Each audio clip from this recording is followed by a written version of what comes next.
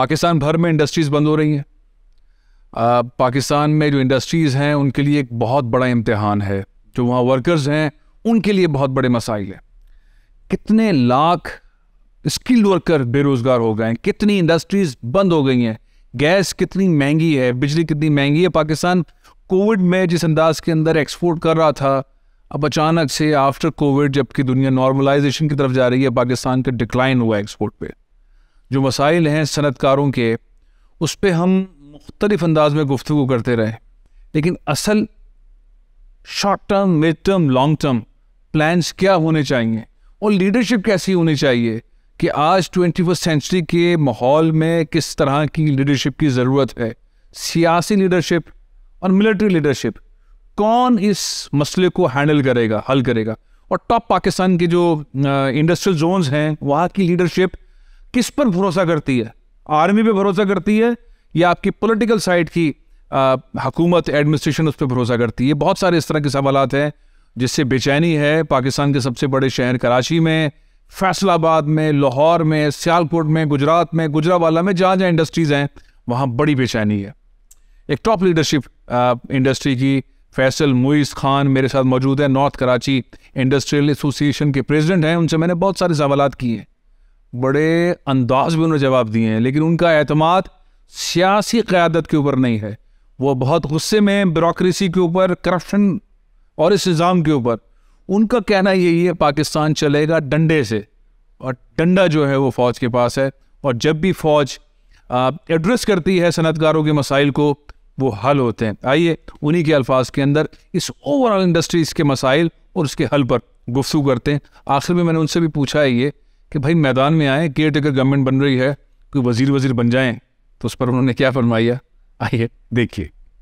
सनतकारों ने इतना कबाड़ा किया पाकिस्तान का। सब्सिडी लेते हैं। इतनी सी फैक्ट्री लगाते थे तुम्हारी हज़ारों फैक्ट्रियाँ हो गई हैं। टैक्स देने को तैयार हुई है टैक्स चोर है। सारी ज़िंदगी कमाया लोगों को सड़क पे खड़ा कर दिया बेरोजगार कर दिया अगर माल काम नहीं आ रहा। नहीं, चोर नहीं थे। चोर नहीं थे चोर हो गए। हमारा पूरा सिस्टम खराब है फैसल भाई हम एक नीचे के प्यून से उठे ना किसी आप गवर्नमेंट के इदारे में चले जाए वहाँ से सिस्टम खराब है। इंडस्ट्री ने किया है लेकिन सिर्फ़ नहीं किया। देखिए मैं अगर उस चीज़ को फॉलो नहीं करता हूँ ना तो फिर मेरी इंडस्ट्री बंद हो जाती है। वही रिश्वत देते रहे इंडस्ट्री वाले, पैसा बनाया इंडस्ट्री। आज आपको रिश्वत देना बुरा लग रहा है। सारे जो बिजनेसमैन है, वो बातें बहुत करती है, लेकिन आगे नहीं आते। गवर्नमेंट के अंदर आ जाए ना फैसल मुई साहब सिंध की वज़ीर इंडस्ट्रीज़ के तौर पर आ जाए तो आप क्या करेंगे फिर? इंडस्ट्री में बहुत सारे ऐसे लोग अपने आपको अच्छे समझते हैं क्या? सिस्टम से लोग ढूँढने पाकिस्तान हम सबको मिलके सही करना। कौम के सबसे बड़े इदारे से मैं यहाँ गुजारिश करूँगा या हमें लाइन ऑफ़ एक्शन दे। एक सबसे बड़ा इदारा कौन? कौन? हर आदमी जो ट्रस्ट करता है वो पाकिस्तान की आर्मी पे करे। इंडस्ट्री के मसाइल आर्मी चीफ हल करे। नवाज़ शरीफ शहबाज शरीफ जरदारी बिलावल ये कि डंडे के बगैर कुछ नहीं हो सकता। डंडा चाहिए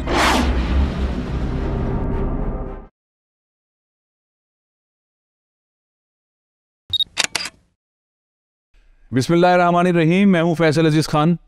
पाकिस्तान में इंडस्ट्री बंद हो रही है। लोग बेरोजगार हो रहे हैं, अच्छे वर्कर्स बेरोज़गार हो रहे हैं और लॉ एंड ऑर्डर की सिचुएशन अपने अरूज पर है। अब इसके अंदर कुछ शुबा नहीं है, वो सिंध के आईजी हों। या रेंजर्स की तरफ़ से इंफॉर्मेशन आ रही हो, या लॉ इन्फोर्समेंट एजेंसीज हों कि पाकिस्तान के सबसे बड़े शहर कराची में, जो इस वक्त लाकानूनीत है, जो स्ट्रीट क्राइम है, जो चोरियाँ, डकैतियाँ हो रही हैं, इसमें कौन लोग हैं?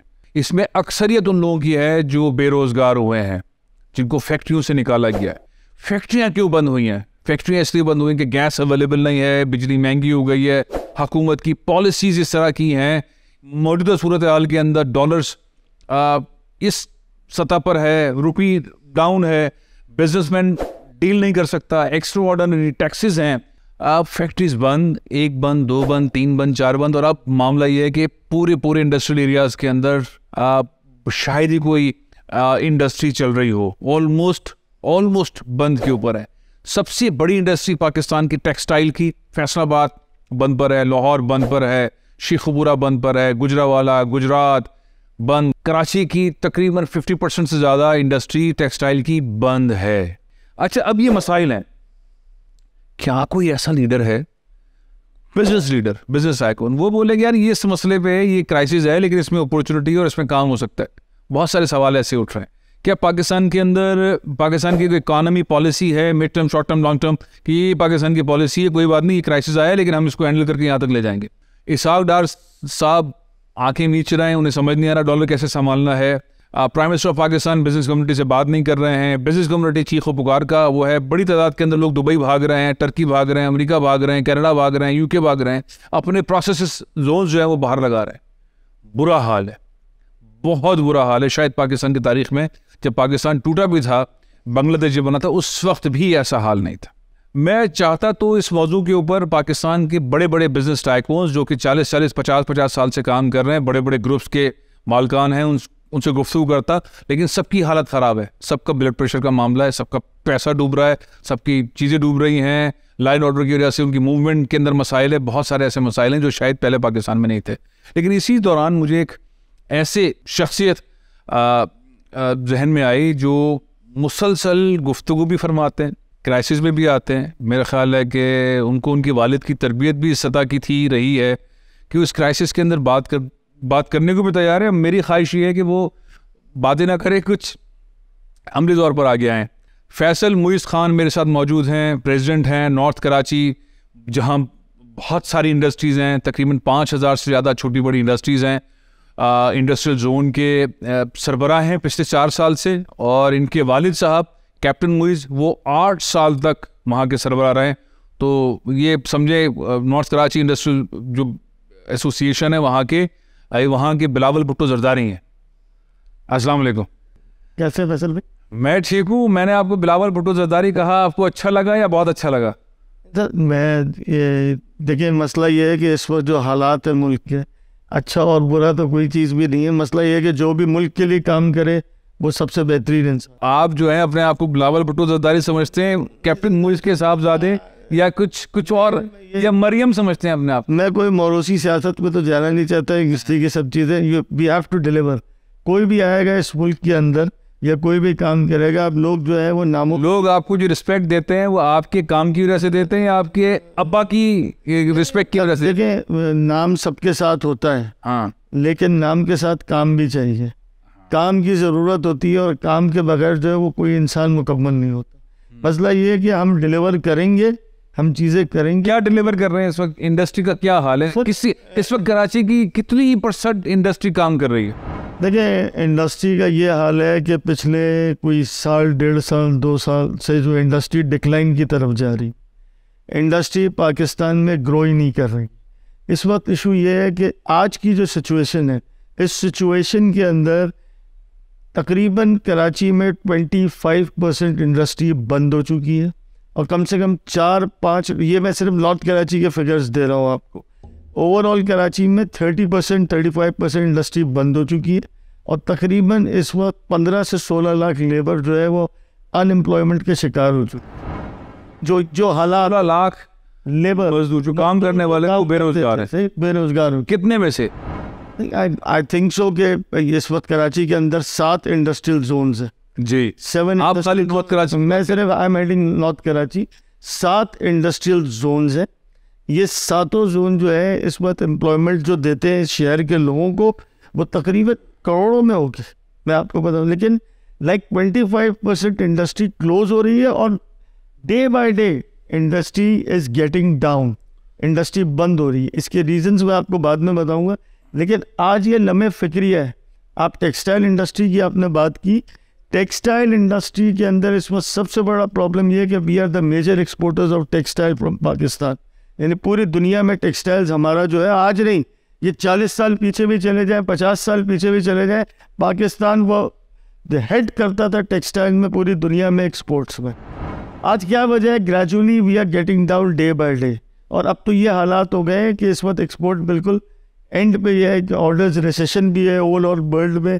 लेकिन इसके अलावा जो ऑर्डर दूसरे मुल्कों में मिल रहे हैं हमारी नेबरिंग कंट्रीज़ है आज वो भी ऑर्डर ले। कोविड में आपको मिल रहे थे टिका के ऑर्डर मिल रहे थे इंडिया बंद पड़ा था बांग्लादेश बंद पड़ा था। आप लोगों के छक्के लग रहे थे। देखिए आज आपके सिंगल भी नहीं हुए।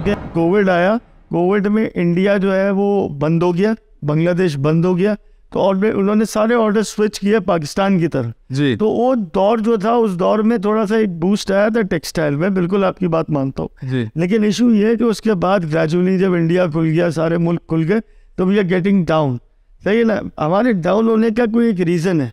उसमें रीज़न ये है कि इस वक्त जो यूटिलिटीज़ है बेसिकली इंडस्ट्री को जो यूटिलिटीज़ दी जाती हैं जिसमें गैस है बिजली है पानी है उसके रेट्स एक तो बहुत ज़्यादा हाई है। और उसके अलावा उनके वो उनकी दस्तियाबी भी नहीं है इंडस्ट्रियल एरिया इस वक्त इंडस्ट्रियल एरिया में पानी चीज़ की रेट हाई है जो अवेलेबल ही नहीं है। अवेलेबल ही नहीं है। जितनी आती है और अपना जो उसके रेट इतने आए हैं कि हम इंटरनेशनल मार्केट में कम्पीट ही नहीं कर पा रहे। कौन इस रेट में इंडिया कौन कितनी किस वक्त आती है? तो देखें गैस का तो आप जो खाना पा यानी आपके डोमेस्टिक रेजिडेंशियल एरिया है उसमें गैस नहीं आती। इंडस्ट्री को तो इस वक्त गैस की ये पोजीशन है कि गैस बिल्कुल टोटली अगर आएगी तो छः घंटे आठ घंटे की गैस आती है। इंडस्ट्री चौबीस घंटे का पहिया है। इंडस्ट्री अपनी प्रोडक्शन करेगी तो इंटरनेशनल ऑर्डर्स कम्पीट करेगी। इस वक्त गैस बिल्कुल भी यानी छः आठ घंटे से ज़्यादा इंडस्ट्रियल एरिया में है। बिजली और एक्सपेंसिव हो गई है।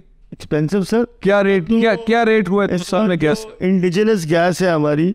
वो टोटल इंडस्ट्री को मिलती थी।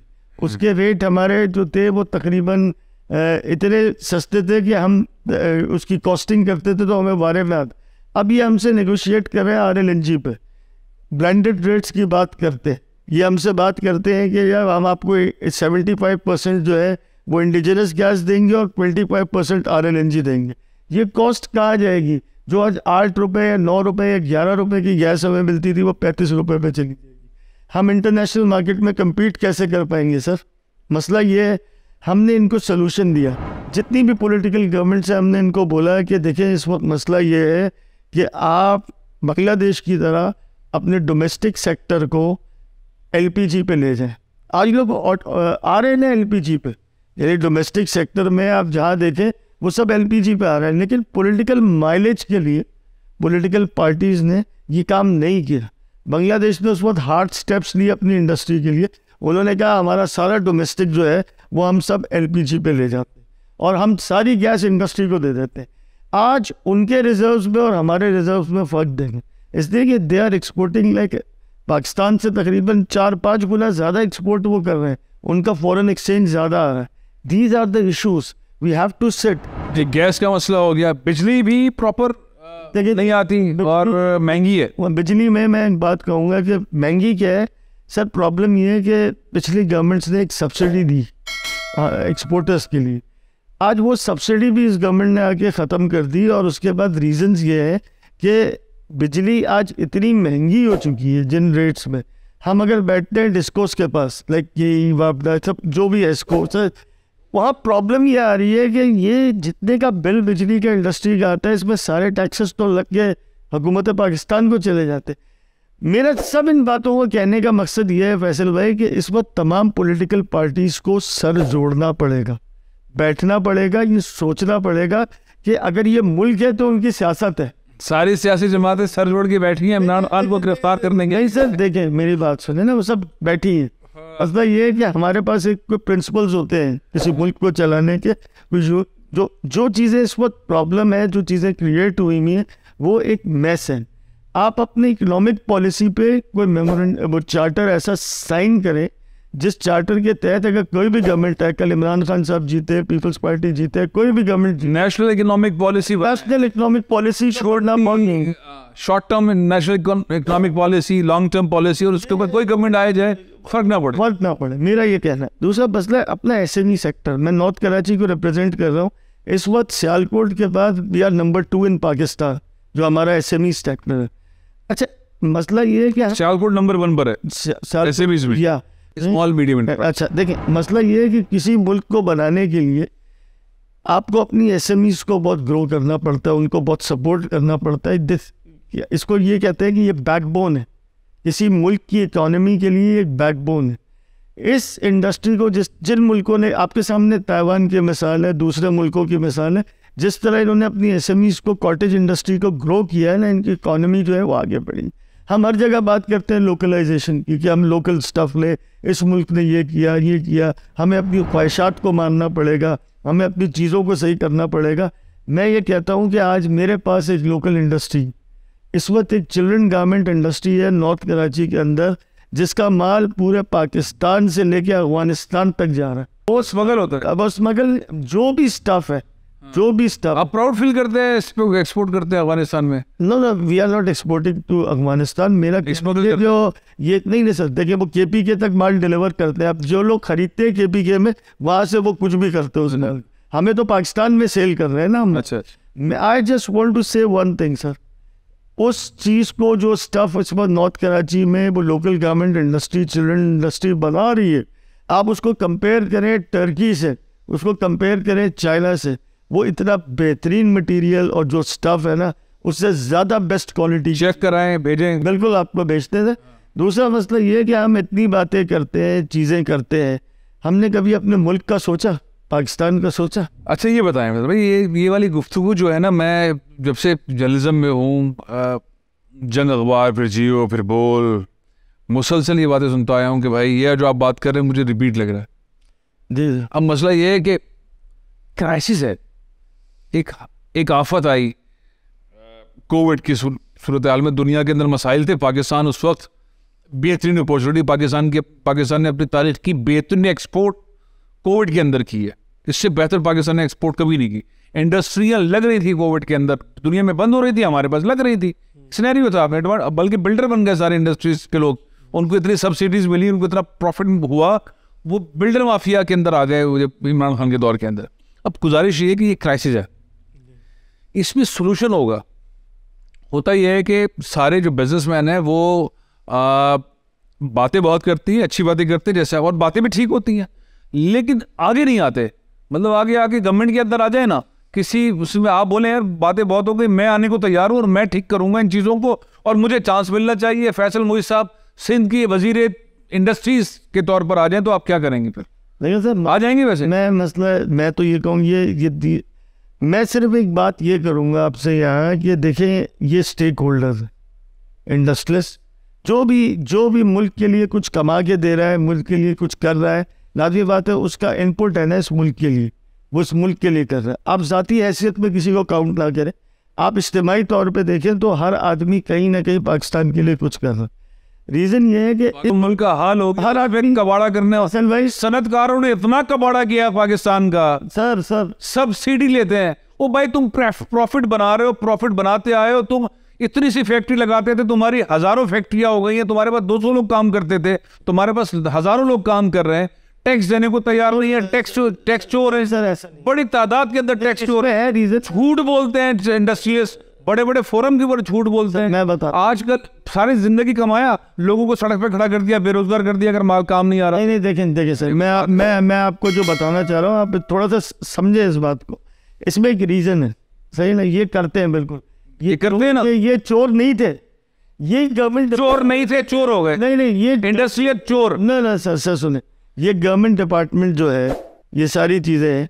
ये जो लोग आपने अपॉइंट किए हैं बहुत सारे इदारे जो इंडस्ट्रीज़ पे यलगार करते हैं सही ना? मसला ये है कि सिस्टम को खराब हमारा पूरा सिस्टम खराब है फैसल भाई आप सिर्फ़ एक आदमी को मौरूद इल्ज़ाम अगर ठहराए एक आदमी को नहीं पूरी इंडस्ट्री नहीं नहीं तो आप पूरी इंडस्ट्री को नहीं कर सकते। हम एक नीचे के प्यून से उठे ना किसी आप गवर्नमेंट के इदारे में चले जाए वहाँ से करप्शन वहाँ से सिस्टम खराब है। सिस्टम सिर्फ़ इंडस्ट्री ने खराब नहीं किया को खराब सिर्फ़ इंडस्ट्री ने नहीं किया। नहीं। इंडस्ट्री ने किया है लेकिन सिर्फ़ नहीं किया। देखें देखें बात सुने यहाँ सौ सिस्टम है सौ चीज़ें इस मुल्क के अंदर। मसला ये है कि मैं अगर उस चीज़ को फॉलो नहीं करता हूँ ना तो फिर मेरी इंडस्ट्री बंद हो जाती है। अच्छा, बहुत खुली बात आपसे बात रिश्वत नीचे से चलती है सर सर ये हमारी सिस्टम का प्लॉ ये आज से नहीं है। ये चालीस साल पचास साल से भाई उसी रिश्वत के सिस्टम में हमने पैसा बनाया ना। नहीं नहीं देख वही रिश्वत देते रहे इंडस्ट्री वाले पैसा बनाया इंडस्ट्री एक लगाई देखिए देखिए आज आज आपको रिश्वत देना बुरा लग रहा है। इसी सिस्टम में आप आप बस। डेढ़ घंटे की फ़्लाइट पे दुबई चले जाए यही लोग काम करते हैं ये इंसानों की तरह काम करते हैं सर सही है देखिए एक टैक्सी ड्राइवर है ना यहाँ यहाँ जो टैक्सी ड्राइवर होता है वो टैक्सी ड्राइवर जब वहाँ टैक्सी चलाता है तो वो दो मिनट में फॉलो करता है। Why don't you make this system like this ये हुकूमत वक्त का काम है कि सिस्टम को ऐसा बनाए कि करप्शन फ्री सिस्टम बनाए कि ऑनलाइन चीज़ें हो जाए। आज हम पूरी दुनिया से बहुत दूर हैं।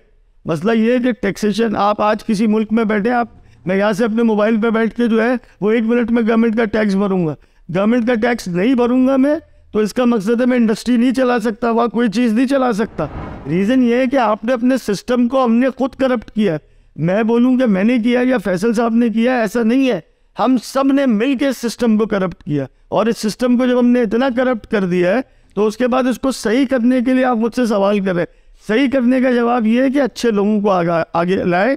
अच्छे स्टेक होल्डर्स जो है इंडस्ट्री के हैं, जहाँ भी, जिस भी शोबे ज़िंदगी से आपको लोग अच्छे मिलते हैं, जो लॉयल हो इस कंट्री से, जो यूनाइट हो इस कंट्री से, वो ऐसे लोग लेकर आए जो आगे चल के काम कर। आप तैयार हैं? नहीं सर मैं आप- आप- इंडस्ट्री में बहुत सारे ऐसे लोग हैं। नहीं, आप अपने आप को अच्छा समझते हैं क्या? नहीं, मैं देखे एक बात आपको बिल्कुल अगर आप देखिए मैं इस अंकल बाबा को लाने के बजाय किसी यंग आदमी को वज़ीर बनाना चाहिए। दुनिया के अंदर यंग लोग जो होते हैं वो वज़ीर होते हैं। मेरा क्या आज आपकी उम्र तक मेरे पैंतीस साल तो है। मेरी I am like forty forty one और मैं मतलब अलग कम रहा है लेकिन आप फोर्टी नहीं, मैं आपको एक बात बताऊँ बिल्कुल क्लियर बात आपको जो बात बताना चाह रहा हूँ सर। मसला ये है कि ऐसे बहुत सारे लोग हैं जो पाकिस्तान पाकिस्तान हम सबको मिलके सही करना पड़ेगा। चले ये अच्छी बात है कि आप आने को तैयार हैं। अभी बताइए नहीं, मैं अच्छा, ये ये मैं कह रहा हूँ इस सिस्टम से लोग ढूंढे। अरे सिस्टम इस सिस्टम के तहत तो पैसा बना है। नहीं एक मिनट बात सुनिए। नहीं नहीं है अच्छा चलिए मैं गुजारिश ठीक है सब ऐसे नहीं। ये जो सनतकारों ने पैसा बनाया है बनाया ना हमारे सामने बनाया ना मैं बहुत सारे लोगों को जानता हूँ आप मुझसे ज़्यादा लोगों को जानते हो। गुजारिश मेरे सवाल सुने सर।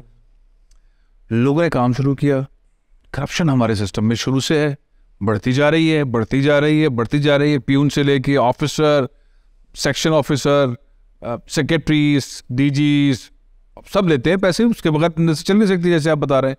वो हमारी तो पिछले दिनों एक चीफ सेक्रेटरी थे, उन्होंने कहा कि ये करप्ट ब्यूरोक्रेट है, इनको गोली मार देनी चाहिए, इसी सीट पे बैठे थे। गोली मार दें, क्योंकि पाकिस्तान के अंदर जो रुकावट है, वो ये ब्यूरोक्रेट्स जो ट्रांसपेरेंसी नहीं करते, ये कंप्यूटराइजेशन नहीं करते ये उन चीज़ों को नहीं करते जिससे शफाफियत हो तो इनको गोली मार दो वो बोल कर गए। अच्छा मेरी गुजारिश ये है कि इसी सिस्टम के तहत हमारे यहाँ जो इंडस्ट्री थी उसने तरक्की की है। पैसे दे दे के रिश्वत दे दे के रिश्वत दे दे के। उसी इंडस्ट्री ने रिश्वत दे दे के एक इंडस्ट्री से दूसरी बनाई तीसरी बनाई चौथी बनाई ऐसे ही हुआ है ना? सर ऐसे तो नहीं है किसी ने बोला कि नहीं मैं पैसे नहीं दूँगा। फैसल भाई आप बात को समझ समझे।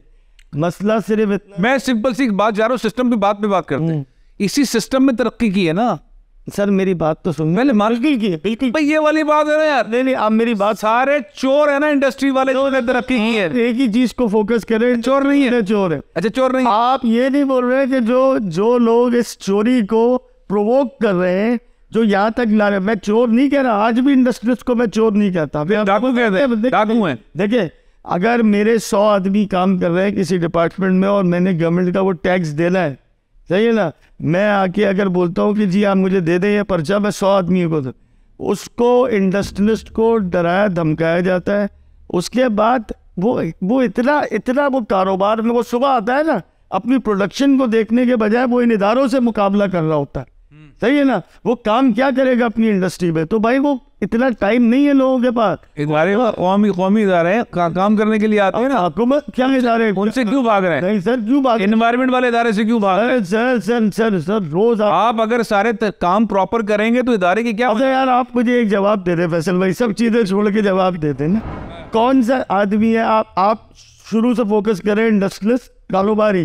सही है ना? वो गलत। आज वो सब सही हो जाते सही है सब दे रहे हैं। मैं आपसे बोलता हूँ क्या ये सिस्टम सही कर देंगे आप? ये जो सिस्टम है, आपका जो गवर्नमेंट्स बैठी है, जो इदारे बैठे हैं, जो लोग यलगार करते हैं इंडस्ट्री पे, क्या इनको सही कर देंगे आप? आप गारंटी आज यहाँ ले लेंगे, मैं इदारों को सही कर दूँगा। मैं इंडस्ट्री की यह बात आपसे करता हूँ इंडस्ट्रियलिस्ट जो भी आप बात बोलेंगे इंडस्ट्री पूरी करेगी। इंडस्ट्री इस मुल्क के लिए खड़ी है। हर आफत में, हर डिजास्टर में, ये वही इंडस्ट्री है जो पाकिस्तान के काम आती है। आप कश्मीर के जलजले से उठा के सिंध के सैलाब तक देख ले। सारा पैसा इस इंडस्ट्री के लोगों ने दिया है। ये वहाँ तक गए, लोगों की खिदमत की है। यकीन करें कि जो लोग पानी में पड़े थे, इनके लिए इन्होंने जाके खुद कैंप्स लगाए। ये इंडस्ट्रियलिस्ट देना आप, हम फोकस करते हैं एनजीओ को, हम फोकस करते हैं इसको। आपने कभी इनके साथ आगे देखा ये किस तरह पैसे खर्च करते हैं? आज कराची में जितना खाना खिलाया जाता है, जो जो एन जी बनी है, ये इंडस्ट्रियलिस्ट ही है ना जो उन लोगों को पैसे देते हैं। तो सर, हमारा कंट्रीब्यूशन कहीं भी कम नहीं है। हम हर जगह कॉन्ट्रीब्यूट करने को तैयार हैं। मसला ये है कि हमें लाइन ऑफ़ एक्शन दिखाई जाए। हमें वो लोग दिखाए जाए इस कौम के सबसे बड़े इदारे से मैं यहाँ गुजारिश करूँगा कि हमें लाइन ऑफ़ एक्शन दे। लाइन ऑफ़ एक्शन दे तो ये सब साथ खड़े हैं इस मुल्क के। ये मुल्क है तो हम है। एक सबसे बड़ा इदारा कौन? कौन? बिल्कुल मैं Pakistan army we love Pakistan army बिल्कुल क्लियर बात है कि ये आर्मी जो हमारे मुल्क की है उससे इदारा ऐसे भैया देखे। अच्छा जनरल नहीं नहीं आर्मी सर। चीफ से कह रहे हैं कि वो हमें और आर्मी चीफ को बिल्कुल बोलूँगा। देखिए बात ये है कि इस अच्छा आप इस वक्त कोई प्राइम मिनिस्टर कोई गवर्नर कोई सीएम सर। किसी का नाम नहीं ले रहे। हैं तो डायरेक्ट आर्मी चीफ हमारा है ये बोलता हूँ कि मोस्ट ट्रस्टेबल पर्सन यानी मोस्ट ट्रस्टेबल चीज़ इस वक्त इस पूरे मुल्क में जो है वो हर आदमी जो ट्रस्ट करता है वो पाकिस्तान की आर्मी पे करता है। यही ट्रस्ट है। यही ट्रस्ट है जो उनमें कायम है। इंडस्ट्री के मसाइल आर्मी चीफ हल करें। मैं आपको एक बात बताऊँ नवाज़ शरीफ शहबाज शरीफ जरदारी बिलावल ये हैं? मैंने मैंने जब भी देखा है जब भी बात हुई है जब यहाँ सीएनसी या कोर कमांडर यहाँ आते हैं और इंडस्ट्रीज़ को बुलाते हैं वो मसले फ़ौरन हल होते they have to intervene they have to intervene industry economic charter जो बनाना है उसमें इनको पहल करनी पड़ेगी इंडस्ट्रीज़ के साथ। अगर पाकिस्तान का सिस्टम सही करना है तो वो लोग बैठे स्टेक होल्डर्स के साथ और सिस्टम को सही करें। करप्शन से दूर। बस ये बात ये मुल्क चल जाएगा।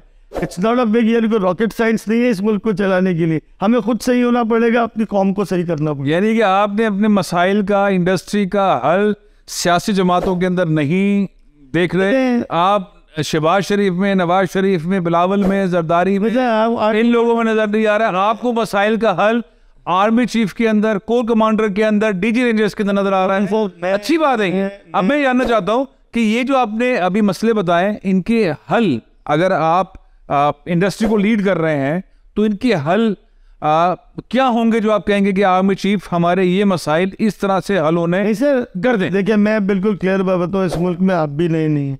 मैं भी नया नहीं हूँ। सही बात है जब चीज़ें इस मुल्क में एक प्रॉब्लम है कि डंडे के बगैर कुछ नहीं हो सकता। मैं किसी पॉलिटिकल पार्टी के बारे में कुछ डंडा आर्मी का नहीं, चाहिए मैं कमेंट आर्मी करना चाहिए। डंडा इस सूरत में नहीं। मसला ये है कि आपने मुल्क सही करना है ना यार। हाँ। या नहीं करना है या हम सबने तय कर लिया इस मुल्क को सही नहीं करना। जिस हाथ में चलता जाए और खराब हो जाए हम इस तरह रहेंगे। हमें जो है बागैरत बनना है। बागैरत बा यानी अभी गैरतमंद बनना है। अच्छा अभी क्या है? मैं उसके मतलब गैरतमंद बनना अच्छा। है बा बनना है। अभी आप बे हैं आपको बा बनना है। मैं मैं कमेंट नहीं दूँगा लेकिन बात सिर्फ़ इतनी सी फैसल भाई जो मेरा कहना है ये मसला ये है कि we have to fight for Pakistan if Pakistan is here we are here Pakistan नहीं होगा तो कुछ भी नहीं। बहुत बहुत शुक्रिया फैसल मुई साहब बहुत बहुत शुक्रिया। असल में मैं मेरा बिलीव ये है कि पाकिस्तान में जो सबसे ज़्यादा टैक्स देने वाले लोग हैं पाकिस्तान में मुश्किल मुश्किल हालात के अंदर आगे बढ़ने वाले लोग हैं रोज़गार के मौाक़े देने वाले लोग हैं, वो सनतकार हैं। और पाकिस्तान के असल हीरोज़, आप सनतकार हैं।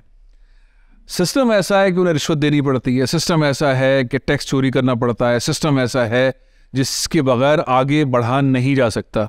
बहुत सारे ऐसे मसाइल, आप जिन ममालिक ने हल कर लिए, वहाँ की रिजर्व्स, वहाँ पे रोज़गार के मौाक़े, वहाँ की एक्सपोर्ट बहुत ज़्यादा है। और कोई मुल्क भी बिज़नेस और एक्सपोर्ट्स के बगैर आगे नहीं बढ़ सकता। आ, मैं शुक्रगुजार हूँ फैसल मुई साहब को बड़ा खुल के उन्होंने गुफ्तु की लेकिन उन्होंने मसले का हल सिर्फ़ एक ही जानब निकाला है। पाक फौज इस मसले का हल करे इस पीटी हल मेरा ख्याल है डंडे के ज़रूर यहीं से हल होगा। हमें आदत भी इसी चीज़ की है। आप सुनते भी रहे हैं सरतकार जो लीडरशिप है वो भी समझते हैं डंडा हो फौज के हाथ में तो सिस्टम ठीक हो जाएगा। इन फिर मुलाकात होगी। पाकिस्तान जिंदाबाद।